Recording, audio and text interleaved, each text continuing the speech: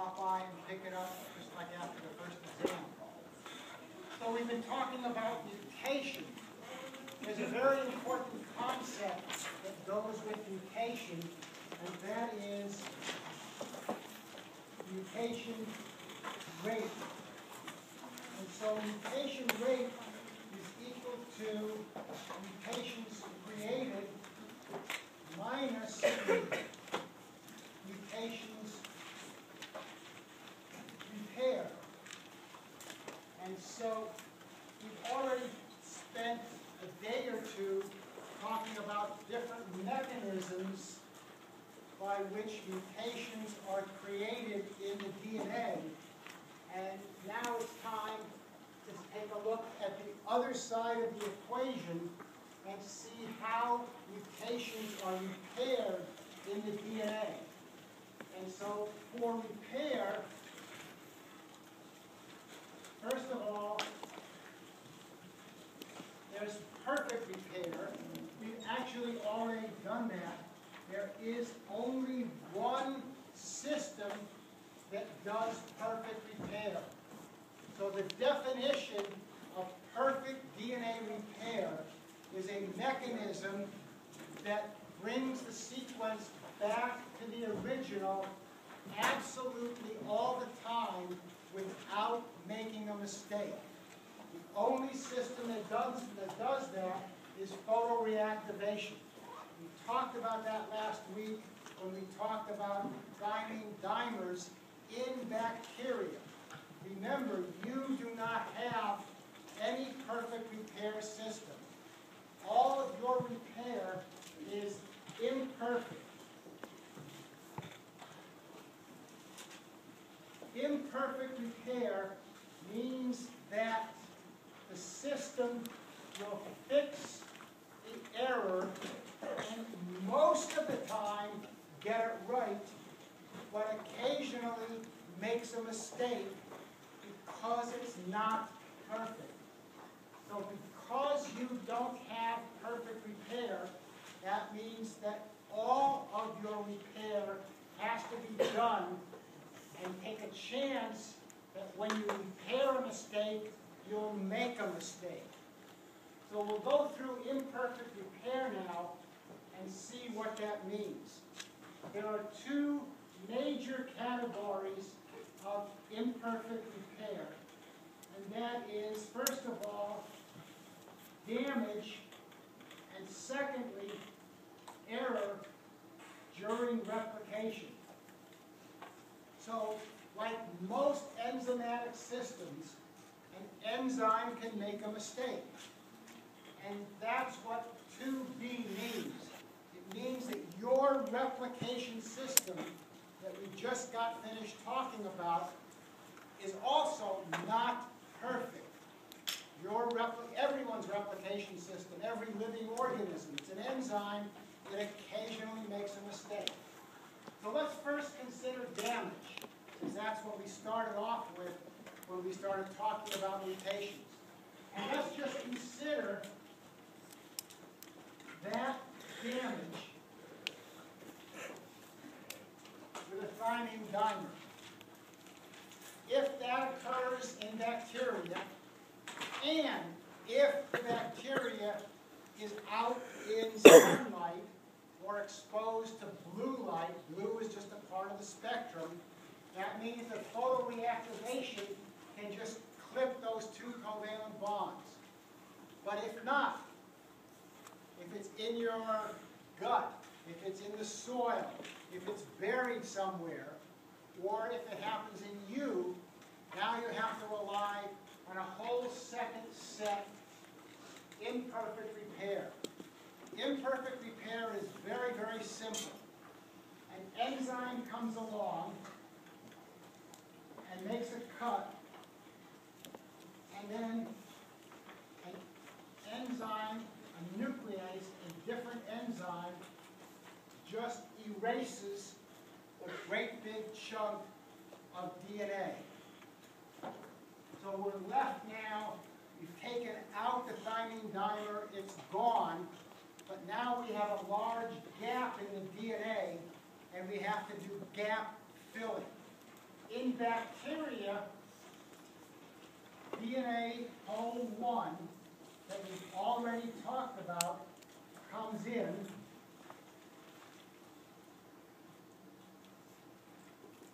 And following the standard DNA replication rules, that is five prime to three prime, DNA pol one now is going to extend from the three prime hydroxyl here and just fill in this gap.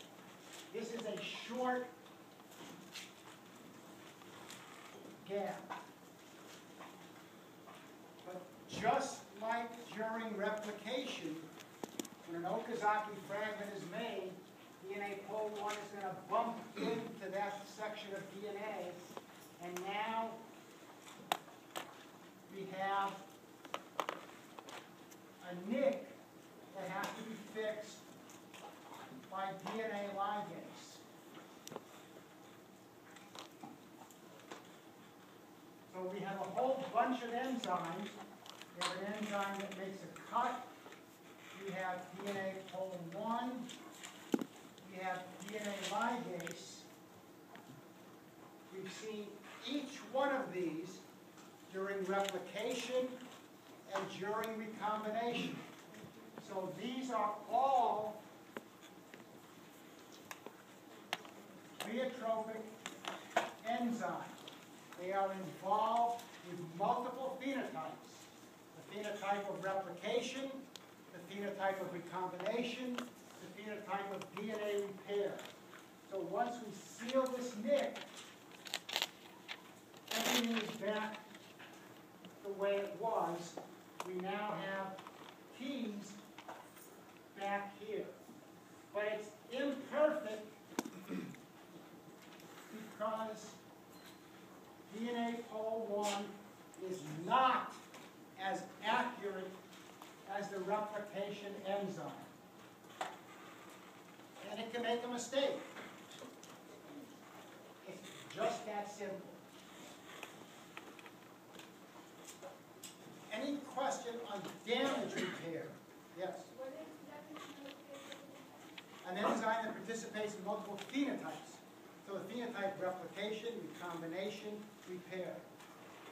Is this what occurs in our cells as well, or is this just? So, so you've got, you've got enzymes comparable to each one of these, yes. And so this is your first line of defense, this is E. coli's second line of defense. Against not only thymine dimers, but against anything. So, any mistakes, anything that is not A, T, G, or C,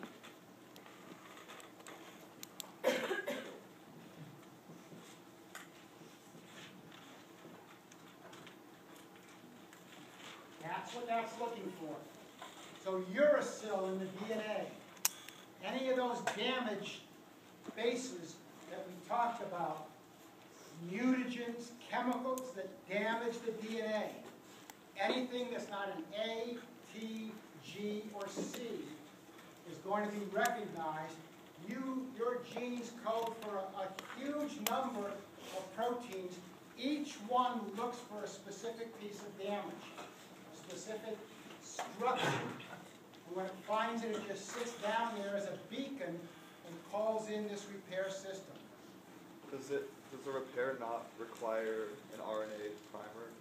It does not, because where I started here, we've got a three prime hydroxyl.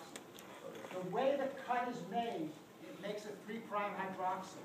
And so it's just perfect to get picked up by DNA pol one. So primer is not necessary. What makes it? Uh, a, a nuclease, there are a lot of nucleases, I don't want to start going through names. Uh, ju- we're just looking at the general pathway. Anybody else? Yes?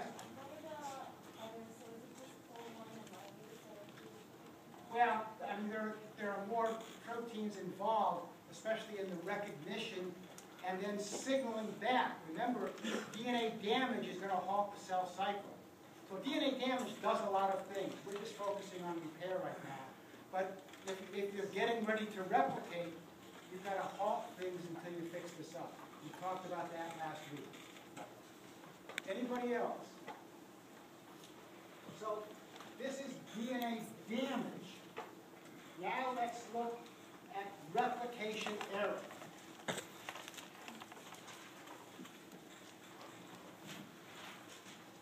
As I said, the replication enzyme is very, very good, but no enzyme is perfect. So let's put an A here. And we'll just look at that one strand. We don't care about the other side. Now, we have a replication mistake. And so this is not a T or GC base pair. So the error recognition system is completely separate from the damage replication system. Damage just looks at a single base. Error looks at base pairs. There are only two base pairs. And so now, the error machinery is going to call in a different mechanism. It's going to look very similar, but it's a totally different set of genes, a totally different set of enzymes. We're doing this in E. coli, but you have comparable systems of all the imperfect repair systems that we're going to talk about. So you've got a system that does this, and you have a system that looks for this. And so the system is going to look very, very similar. We're going to make a cut, a cut, and we have to strip away. Now the question is, how did the system know that the C was a mistake? It doesn't? In bacteria, the way that happens is because the DNA is methylated. So these X's represent a methyl group added to the DNA. And they're going to be on both strands. And so now, let me put this back in. What you see is that the new strand is different from the old strand. The new strand is not methylated. The old strand is methylated. So that's what the error repair system looks for. This is in E. coli. It's called methyl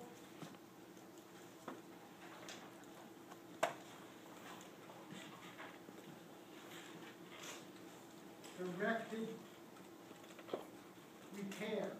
Because the system is going to repair the non-methylated strand. Otherwise, it's gonna have to flip a coin. Fifty percent of the time it gets it right, fifty percent of the time it gets it wrong. But with the methylated DNA, now we can take that out and do everything exactly the way we did there. DNA pol one comes in, fixes it up.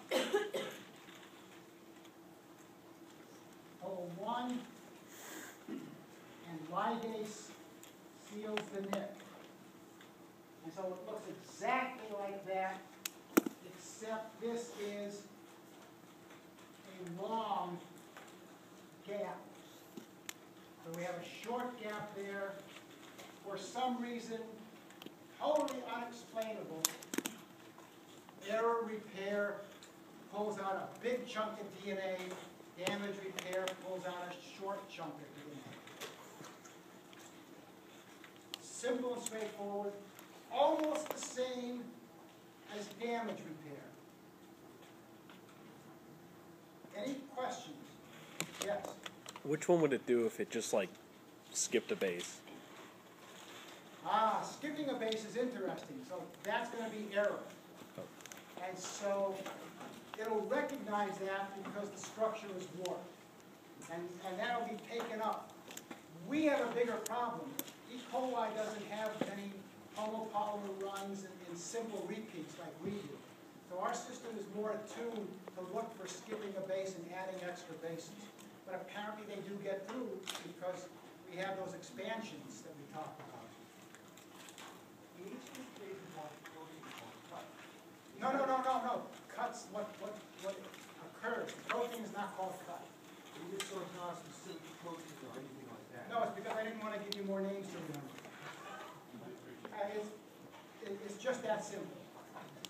Which ones do they, involve the bigger? Uh, so the, the damage that makes the long gap and the, the, uh, that one makes the short gap. Or air is the one? So error is the long gap, damage is the short gap. Did I say it backwards? Yeah. I'm sorry, yes. The top one, damage is the short gap. Which doesn't make sense to me, I would think the damage would be bigger, but oh well. Yes. I don't understand how the methyl tells you which strand. Oh, because the enzyme is walking along the DNA, and so it's going to check not the methylated strand, it's gonna check the non-methylated strand. It's not gonna touch the methylated strand, Why is it methylated? I don't understand. because that's the way the, the system is able to tell the repair genes which strand to look at. So, you can tell which one is the newest. So it can distinguish new from old. And, and the why part gets complicated. Uh, This may not be the original function of methylated DNA, maybe something else we're not gonna talk about. So doesn't that new strand become old strand for another strand? Absolutely, you're, you're exactly right. And so the way the system works is, when the Y fork is moving, the system waits about ten or fifteen minutes and then methylates the, the new strand. So that, so down here, both strands are methylated. But there's, there's a time pause to allow checking to occur. Two questions. Do humans have, um, medical or something similar? Humans have, we, you and I have methyl, and her, have methylated DNA. Our error repair system absolutely does not use it. Nobody in the world knows how our system distinguishes old from new. That's an, an ongoing puzzle, problem in molecular biology. Is it also DNA pol one that's, um, like preparing between the cuts? Right, so gap filling in any coli is done by pol one, gap fillings. Yes,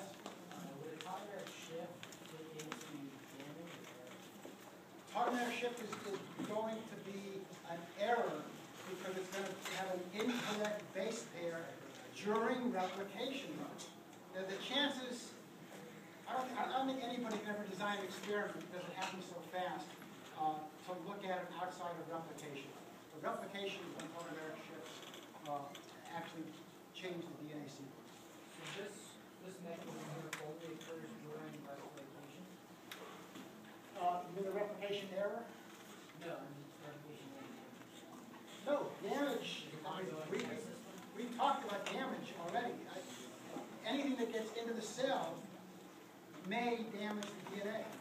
Replication error is replication, but it's also repair. Because if a mistake is made here, then you're back to square one again. If a, mistake is made here, you're back to square one again. But here, again, it depends on the timing of methylation. Anybody else? So this is your first line of defense against replication errors. And E. coli's first line of defense against replication errors. So this is imperfect repair. It picks up anything that is not supposed to be in the DNA. There's an interesting set of enzymes called error prone repair. So for thymine di, for thymine dimer damage, your first line of defense is not photoreactivation, it's this mechanism. This is gonna be your second mechanism against thymine dimers. And so here, if we have.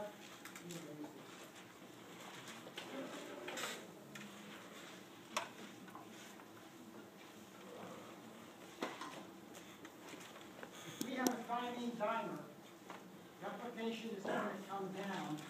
The replication enzyme cannot cross the thymine dimer. The structure is so warped that what happens is an error-prone DNA polymerase. If this is E. coli, this is DNA pol four or five is going to come in and just put garbage in there and then turn it back to DNA pol three, the replication enzyme. When I say garbage, I mean the error-prone replication enzymes do not read the sequence on the template. They just put any base in, because an unrepaired thymine dimer is lethal. So the question for the cell is, do we just automatically keel over and die, or do we try to fix it with anything there, and then undergo recombination, because now you've got two good strands on the other side. I'm not gonna go into that, just imagine recombination is gonna replace one of those damaged strands with an undamaged strand from the sister chromosome, and then they can both be repaired. So it's a complicated mechanism. All cells have it. For bacteria, this is a third line of defense against thymine dimers. PRE is number one, standard damage control is number two, and error-prone repair is number three. For you, the error-prone system is your second line of defense against standard repair. And you have more error-prone polymerases than does E. coli. Yours are more complex. We're not gonna go into the mechanism. But that's just the standard mechanisms that the cell has to look and repair different kinds of things that don't belong in the DNA. So whether it's damage, non-standard bases, or whether it's non-standard base pairs, they're handled by two different systems. Any questions on this? Okay. So number four,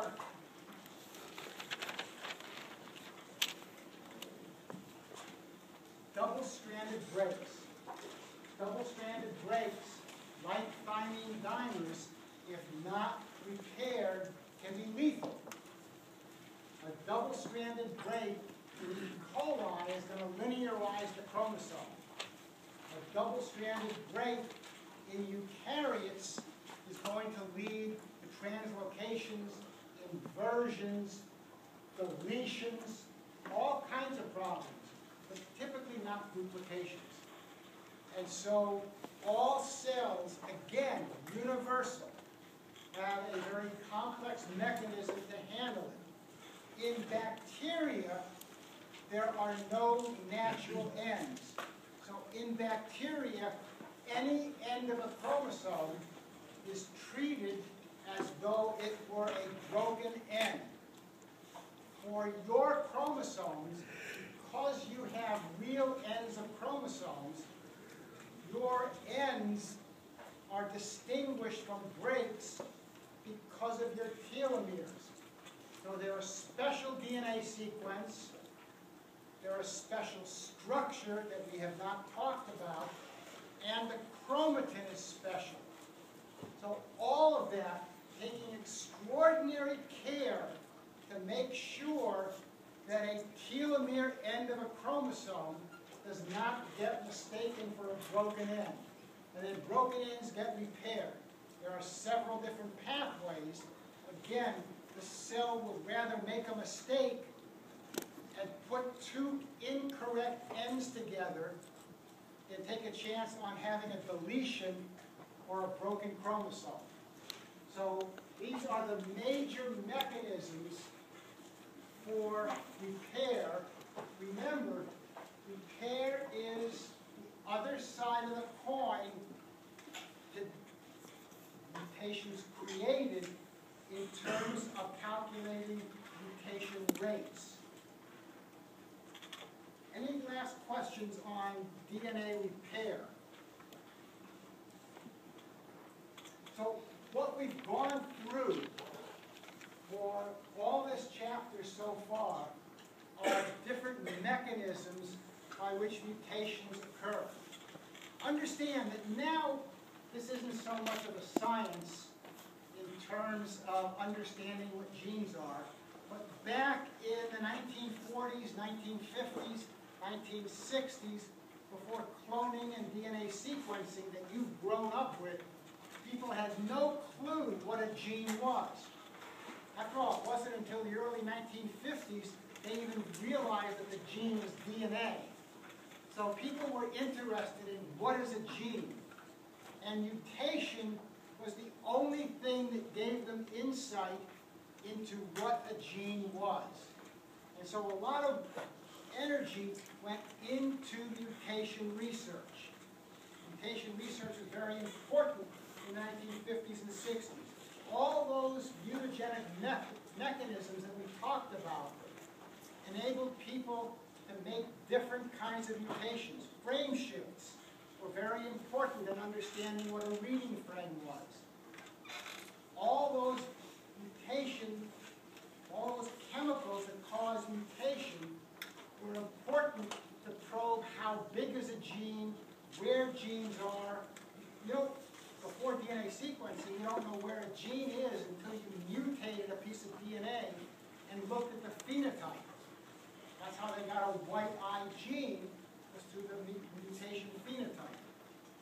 So it was very important to understand how mutations occur. Organisms, including you, are really well guarded against external mutations.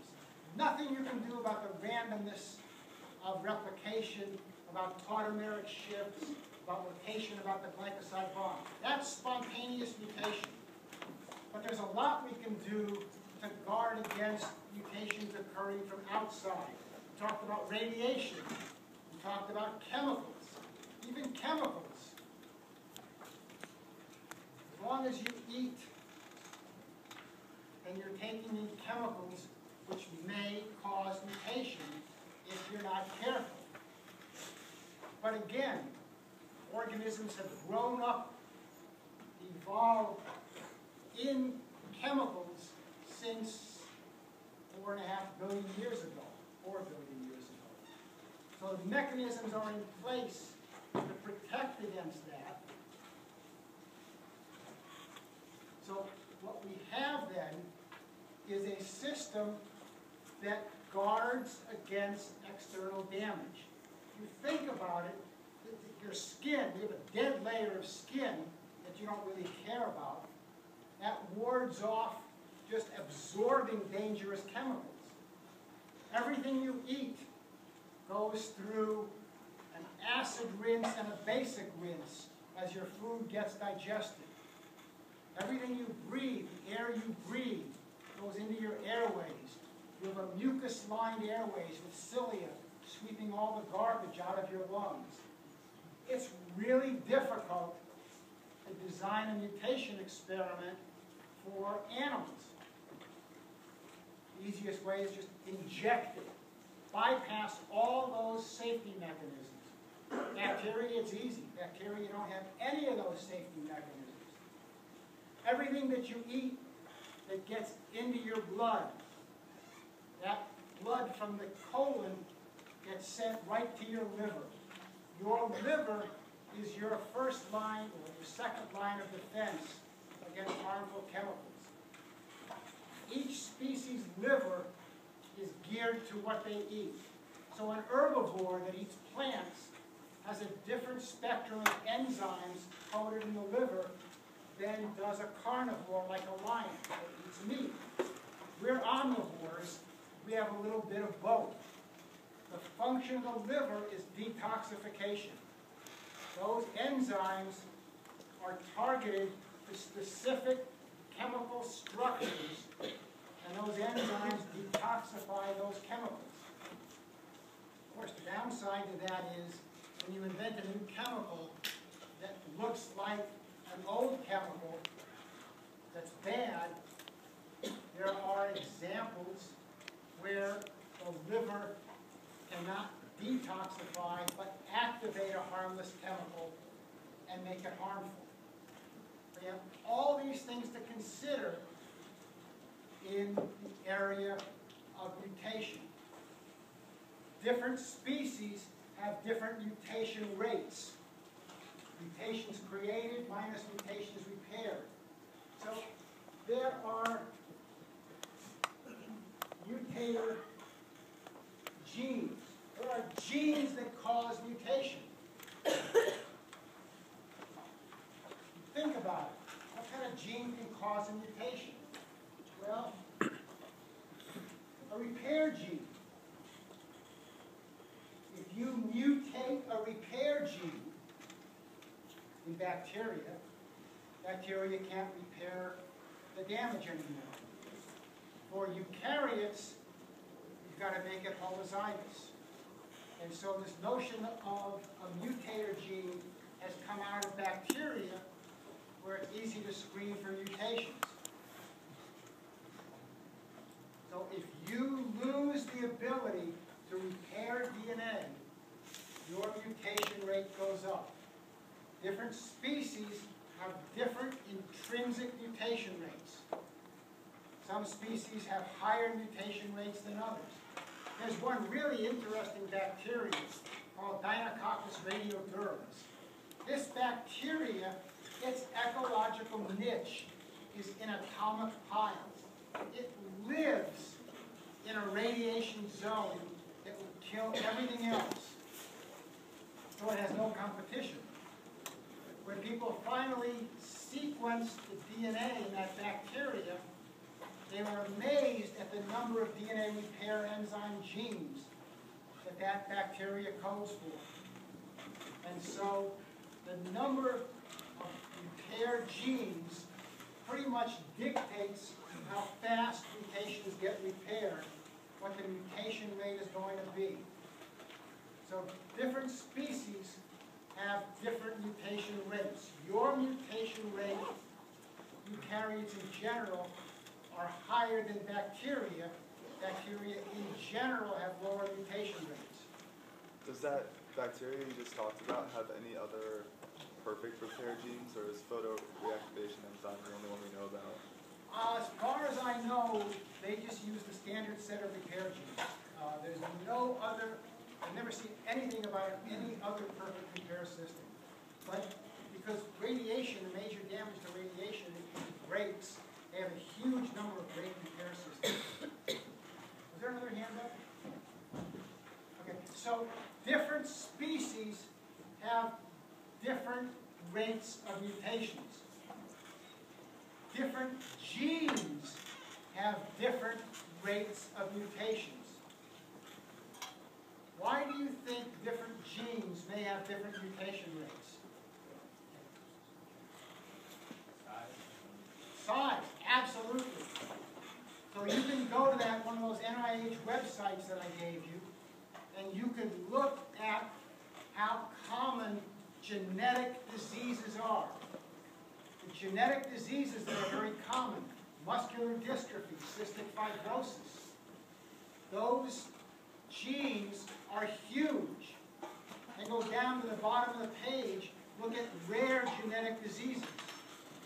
The rare genetic diseases are caused by genes that are tiny. And so you can pretty much judge the size of a gene just by its mutation rate. So species have different mutation rates. Genes have different mutation rates. And within your body, not all cells have the same mutation rate. What do you think is going to make a difference between different tissues and mutation rates? How often they replicate? How often they replicate. Replication causes replication errors. It's as simple as that. So your muscles, your nerves, rarely, but not never, rarely undergo mutation rate. Cancer in muscle and nerve cells is much less frequent than skin cancer. Epithelial cells are always undergoing replication. The blood cells, the leukemias, always undergoing replication. And so the mutation rate is not a constant. It's not a constant for between species, it's not a constant within species, it's not a constant within individual cells. Yes? So, for the case of the, the reason why like different genes have different mutation rates are because of the gene size and the replication. Yeah, it's just, it's just target. You know, just think of a, of a target, bow and arrow. And so the big circle is easy to hit. The little tiny circle is tough to hit. It's exactly what it is. You have a gene with a thousand bases versus a gene with ten thousand bases. That gene with ten thousand base pairs is ten times more likely to have a random mutation. It's just that simple and straightforward. Yes? Does this take into account also uh, mutation rates that can be caused by viruses? So viruses don't typically cause mutation. Viruses do a lot of things, but mutation isn't one of them. Uh, viruses can integrate into the DNA like lambda, but that's not really considered a mutation. So, so I would say that viruses, we're going to talk about viruses when we talk about cancer, which is linked to mutation. But aside from that, viruses by themselves don't cause gene mutations. Anybody else? Yeah. Uh, the jumping genes, a good example? Oh, yeah, jumping genes are perfect, absolutely. Jumping genes definitely cause mutations.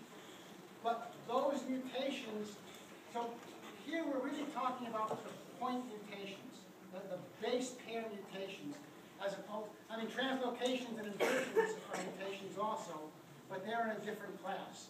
So we're talking about micro mutations now. Anybody else? Any questions? Yeah. So if I was DNA, um, have to be double-stranded in order to do the lysogenic, um, you know, connecting. So, yes, if a, if a virus is gonna be lysogenic, if a virus is gonna integrate in, and it's a single-stranded virus, whether it's single-stranded DNA or single-stranded RNA, it has to, it has to make itself double-stranded. Uh, HIV does that. Uh, um, Some of, the- some of the bacterial viruses, I'm not sure if they integrate or not, but very definitely they have to be double-stranded. Anybody else? So, what I've tried to show you is that mutations can lead to cancer. And so we're going to see a link between mutations and cancer as we go further into this. So the question becomes, how do you tell if a chemical will cause a mutation and then we'll see then how do you make that extension from mutation to cancer? because mutator genes in eukaryotes cause cancer. And so that's going to be the link. That's why I put cancer into this chapter, is because cancer is a disease of mutation. So we'll start off first the easy way. How do you tell if a chemical causes a mutation? Remember, because mutations happen spontaneously, it is not enough to say, oh, a mutation happened, therefore a chemical caused it. That was the problem with smoking and mutation. It was not enough to show that a person who smoked got cancer because non-smokers got cancer also it all had to do with the rate. And the downfall of the tobacco industry was that smokers had a higher rate of cancer. Non-smokers had the lowest rate of cancer, and reformed smokers who gave it up had an intermediate rate. So because these two are, are inimicably intertwined, we're going to ask the question first, how do you tell if a chemical causes mutation? There are two very, very simple and very straightforward ways to do it, and one very expensive way. So the first way is simply by computer. So we've talked last week about a whole list of known chemicals that cause mutation.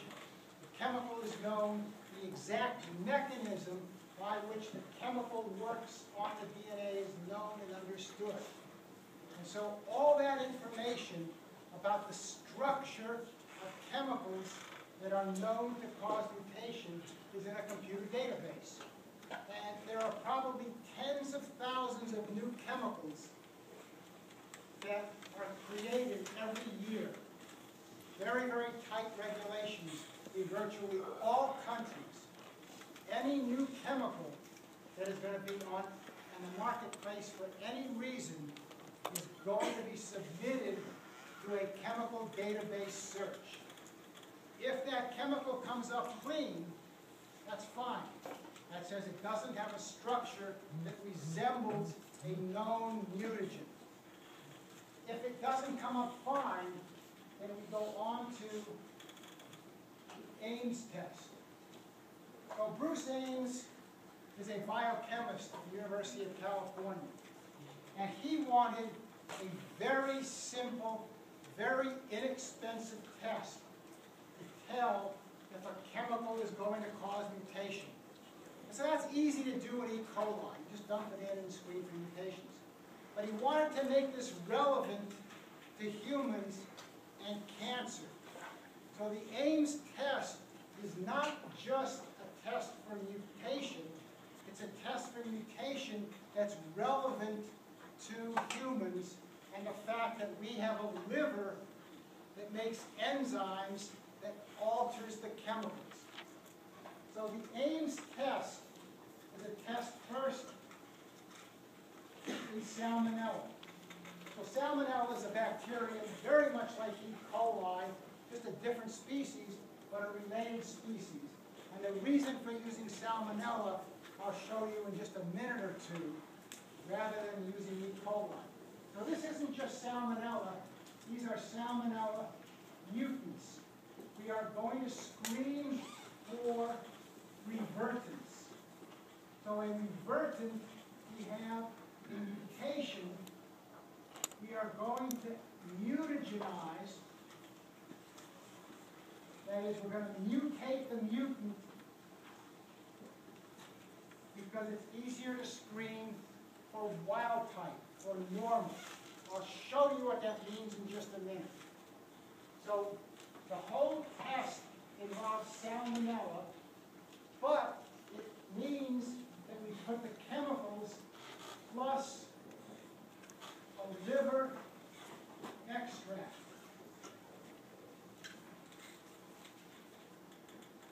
The liver comes from guinea pigs. The choices were humans or guinea pigs, and they decided that guinea pigs were going to be cheaper than getting people to give up their livers. Remember I said that each species has a liver that's geared to what they eat. Well, it turns out you can't use cows and pigs and sheep, all those big domesticated animals with big livers, because they're pretty much all herbivores. And their livers do not have the same enzymes that our liver has. It turns out that guinea pig liver enzymes most closely matches ours from an animal that's inexpensive to harvest. Yeah. Why not pig or goat, they seem to be. Um, they eat anything, yeah, they eat, they probably eat more than a cow or pig, but they don't eat the range of meat that humans do. And, and that's the key. And so pigs and goats, while they do eat a lot of strange things, uh, their livers don't match ours. I mean, it's, it's just that simple. They have a different enzyme spectrum. So you take the chemical and incubate it in the liver, pig liver, and then add salmonella mutants. So these are mutants, they can't grow on a minimal agar plate. So this is all done by microbiology. You have an agar plate with a minimal media which forces the bacteria to make all their standard components. So a mutant can't grow, the wild type can grow. So you just incubate the mutant bacteria with the chemical that's been pre-treated by the liver, add it to the salmonella, and see if they grow on the minimal agar plates. Anything that grows in a statistically significant fashion, that says that this is, that this chemical is a potential mutagen that can alter the DNA. You had a question? Yes, we might repeat that a little bit, we incubate, incubate mutant bacteria. So you take the mutant bacteria and you incubate them with the chemical pre-treated with the liver extract. And you see if that liver extract chemical now can mutate the mutant. That's a reversion to revert it back to wild type. Because you're using bacteria, it's extraordinarily powerful. You can see one in a million. And so it's a very, very sensitive assay. You want to make sure that it is statistically significant. Mutagenize. So you're taking mutated And eugenizing, and adding and seeing if they grow. and seeing if you can mutate it back. So you're taking something that has an AT base pair, which is mutant, and seeing if you can take it to a GC base pair, which is wild type. With the chemical that might cause mutation. a chemical that might cause mutation. Let me see if I can get that. treat it with water, Yep, and if it can change it when it is gonna cause mutation. so the chemical is treated by the liver. We then take the mutant bacteria to see if we can get wild type. And it can, you can reasonably guess that this might be a potential mutagen. And when that happens, because this isn't a full-blown assay, then you go to a very expensive treating mice the chemical to see if they get cancer. Because we don't care about mutations. We really care about cancer. That's what it's all about. So we say it's a mutant because it changed the the. Uh, Mutant mutagen? we say that the the chemical is It's a um, mutagen. is a mutagen because it changed the mutant to wild type. That's what this whole chapter is about, this, taking an AT base pair and changing it to GC. Absolutely.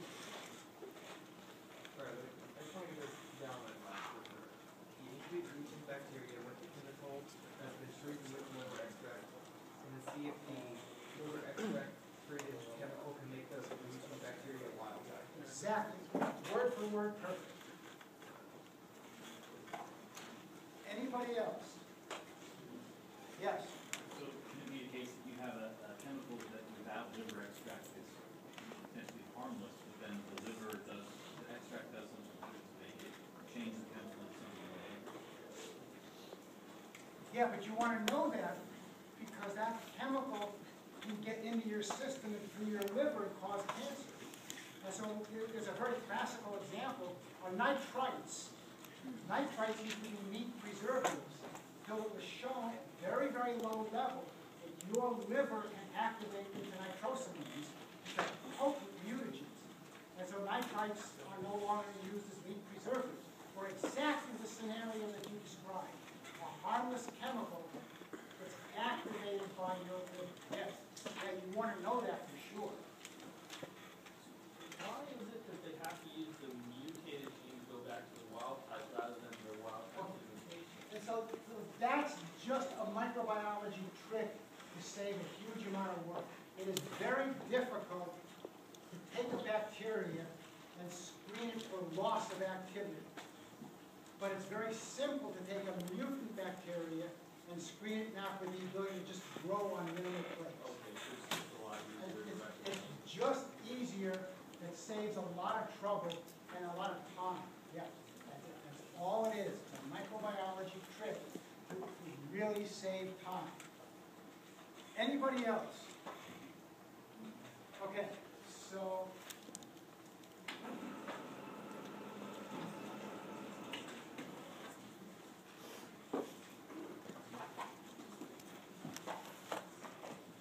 So what is cancer? First of all, cancer is not one disease. We have lumped a huge number, actually that, that's grown by leaps and bounds recently, a whole huge number of genetic diseases into one category that we call cancer that all have a common behavior. And so cancer has a general range of symptoms.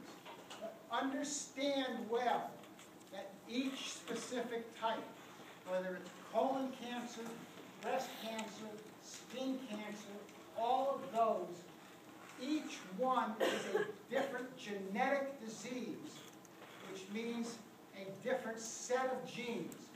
Cancer is not a single gene disease like muscular dystrophy. Cancer is multigenic. That means in order for a cell to become cancerous, you have to have multiple mutations. And each cancer type has a different set of mutations. The most recent data says that even within a supposedly homogeneous type of cancer, and breast cancer is one of the most better explored types, that there are a lot of different subtypes. And what's important about different subtypes of breast cancer is that a drug that will work on subtype A will not work on subtype B because the gene that drug works on in subtype A is not mutant in subtype B. So this is what we're going to be exploring over the next several days, is what exactly is cancer. So cancer is not a single disease. The answer is first a genetic disease. It is caused by mutations. It is above all a regulation problem. It is a disease caused by genes that are not properly regulated.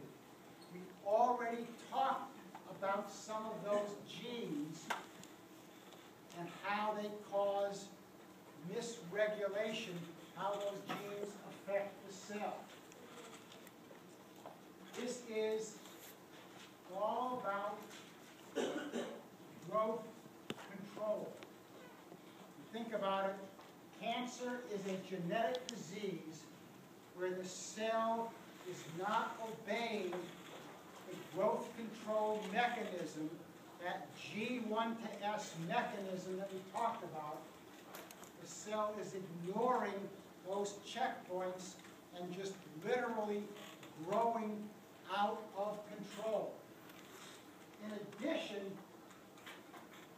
another one is no contact inhibition. Contact inhibition is neat. It's all about what happens in your cells when cells in a tissue are communicating with each other. The cells in your skin, your liver, your muscles, whatever tissue you have, all the time, cell-cell contact means cells are in constant communication with each other. They have to be. In order to repair damage, if there's a wound, a cut, the cells have to be replaced. So every morning when you wake up, all your cells are talking to each other. Hi, how are you? Okay, I'm fine. How's Charlie over there? He's good too. Okay, we can go back to sleep now. Literally, cells are communicating to each other from cell to cell contact, proteins on the cell surface. Talked about proteins on the cell surface. They serve all sorts of functions. As long as the cell in a tissue or organ gets a signal from all of its neighbors that everything is okay, it's just going to sit there.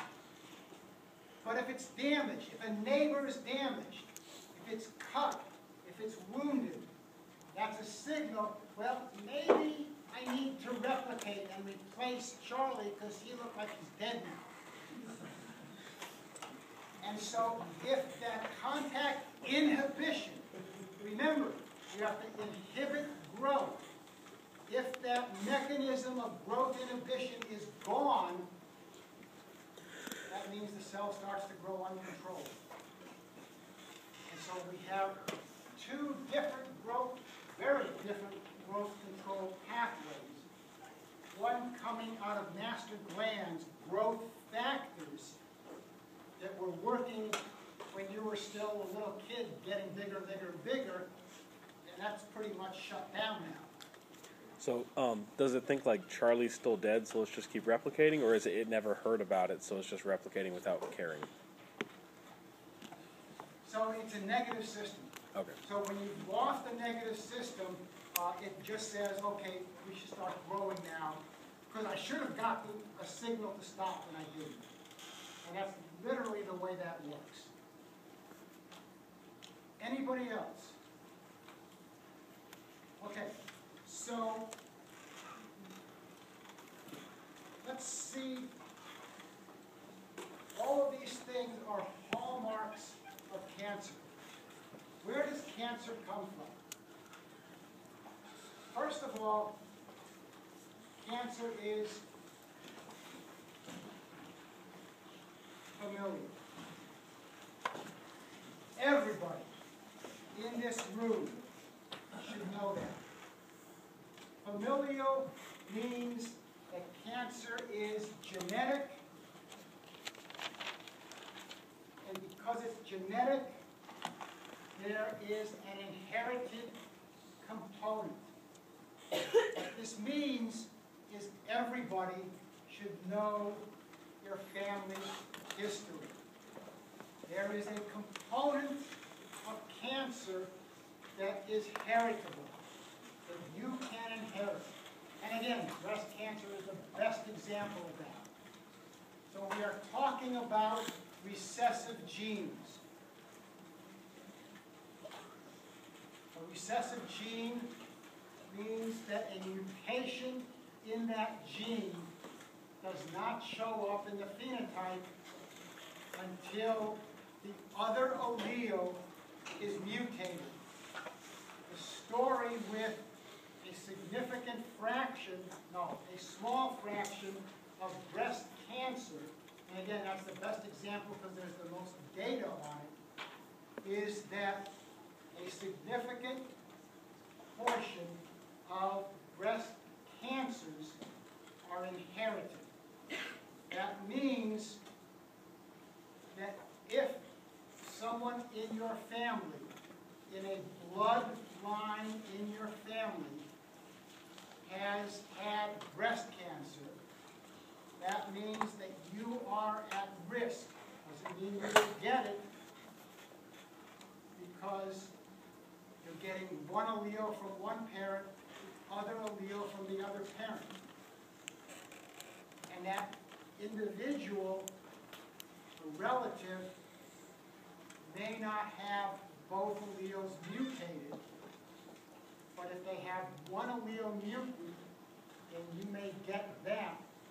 If you get a mutant allele that causes cancer, breast cancer or anything, what that means is that every cell in your body has that mutant allele. And all it takes is for one mutation at that locus to now create a homozygous situation. Familial cancer is only five percent. So this is American cancer statistics. But even that five percent can be avoided if you know your genetic history. There are all sorts of genes for which the data is very, very well understood. So that's one aspect of inheriting cancer, but only five percent. There's a second way, and the second way is actually pretty interesting. It used to be thought years and years and years ago that there was something called immune surveillance. That your immune system, you were constantly getting cancers, and your immune system wiped them out. The cancer only appeared when one escaped the immune system. But that fell by the wayside. What's replaced it is, is even more interesting. How many people have allergies? Wow, you guys are lucky. The statistics say that, that immune surveillance is pretty important. That people who have allergies, especially strong allergies, have a lower probability, a guarantee, a lower probability of getting cancer. That cancer cells are different from your normal cells. When a cell becomes cancerous, that cell reverts to an embryonic state. After all, when you were an embryo, your cells were replicating fast. Cancer does. And so cancer reprograms the genes to behave like a, an embryo cell.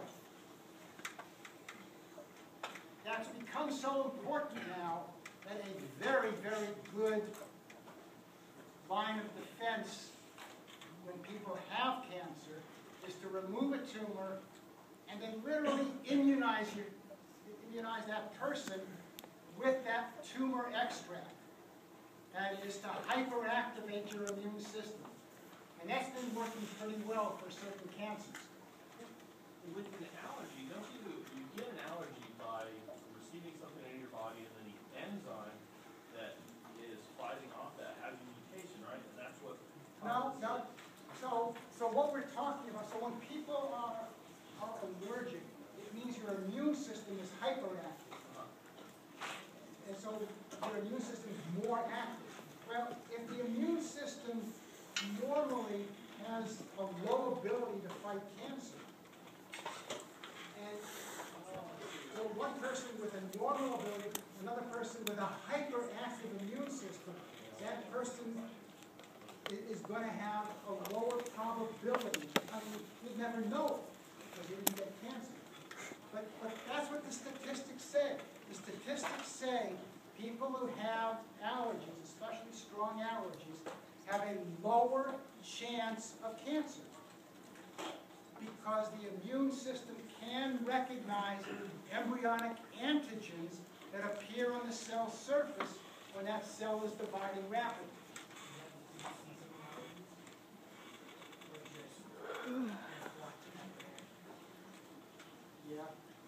I, yeah, I, you know, the story that I, that I read is that the more hyper your immune system, the better off you're going to be protected against tumor forming. And so this familial has two components to it. You can inherit one class of genes that we're gonna talk about probably on Wednesday. One class of genes that can lead to cancer, not cause cancer, but not prevent cancer. So when they're taken out. So when you inherit cancer, you don't inherit a type of cancer. You inherit cancer as a any type. Um, when you inherit cancer, you inherit susceptibility typically to a, to a very small spectrum. Um, it, it's, it's really odd, and, and so we have to get into the pathway to see that. But most genes are very general, except for the contact inhibition ones and growth control, those are very specific. Most of the cancer-causing genes are very general, yet they cause very specific cancers. And we'll see that on Wednesday. That, that's all I can say easily now. Someone else had a hand up over there? Okay, so familial means that you can inherit genes that increase your probability of cancer. Secondly,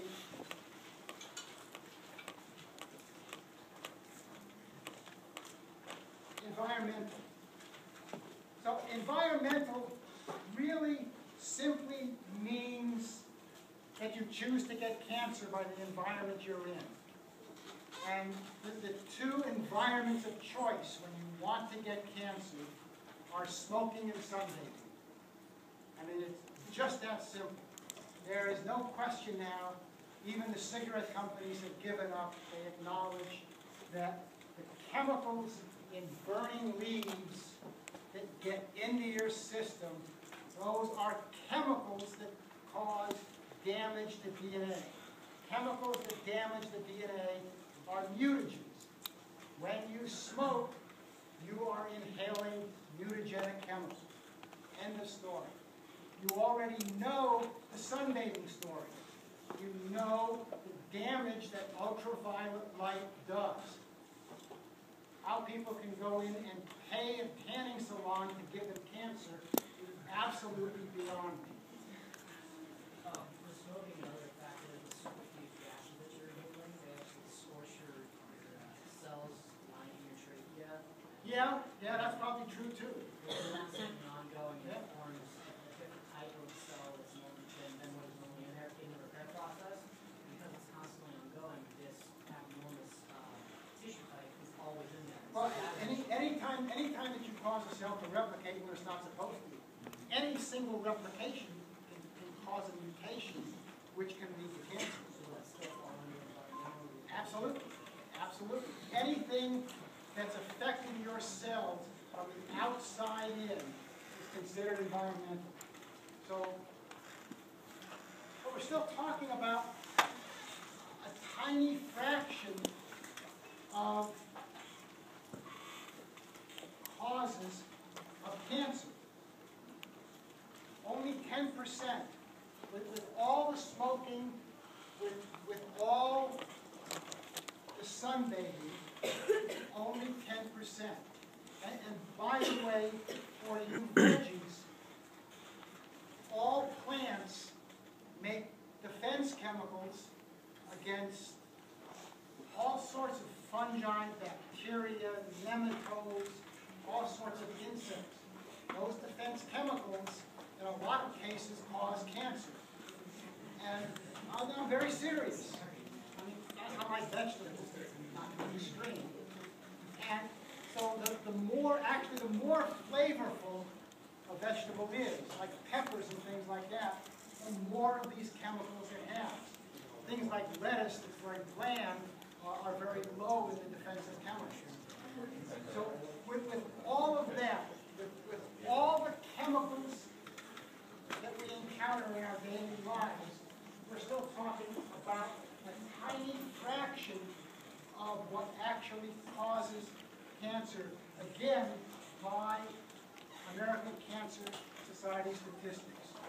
So the environment really is important, but it's not important for people who are careful, especially about smoking and sunbathing. You take that out of the equation, and this number drops dramatically. Any questions on that?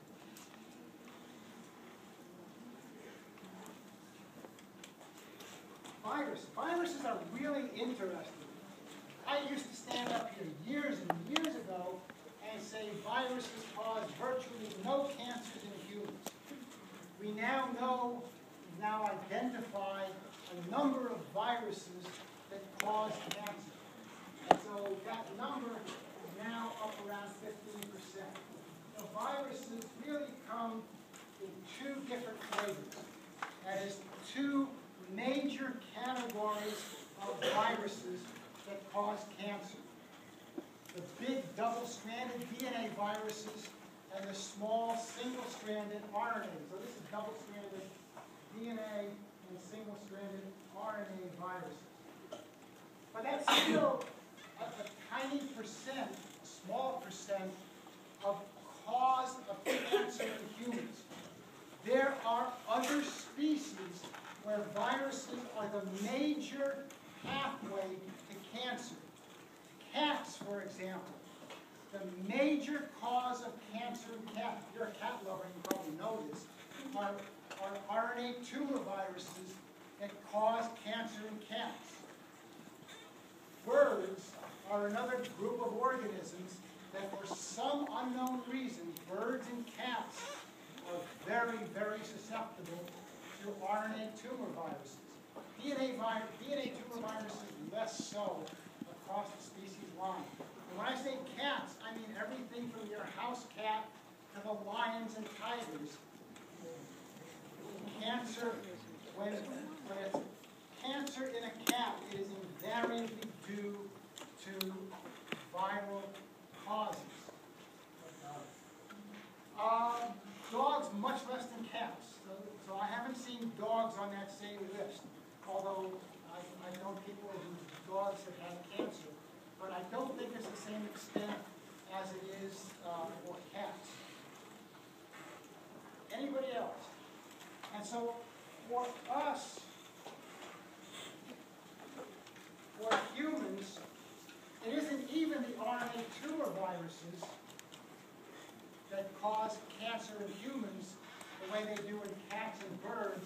It's the other major class, the double-stranded DNA viruses, uh, the HPV, is probably the best known right now uh, as, a, as, a main, as a, probably the major, one of the major viruses.